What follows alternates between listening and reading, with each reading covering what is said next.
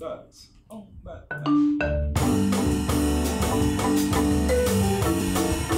Samba jazz porque é o seguinte, porque vai ter a melodia e vai ter o improviso. O formato é muito parecido com os, os, os formatos de standard de jazz dos Estados Unidos, só que com um ritmo brasileiro. This instrument was created in the 1920s. Marimba is actually made from wood that comes from northern Brazil. O contrabaixo ele é um instrumento basicamente de acompanhamento, né? Então ele com a bateria tem que estar falando a mesma língua. Daí tem que tocar de maneira bem sutil aqui na bateria para para ter a ver, né? Porque sempre cada música conta uma história, né?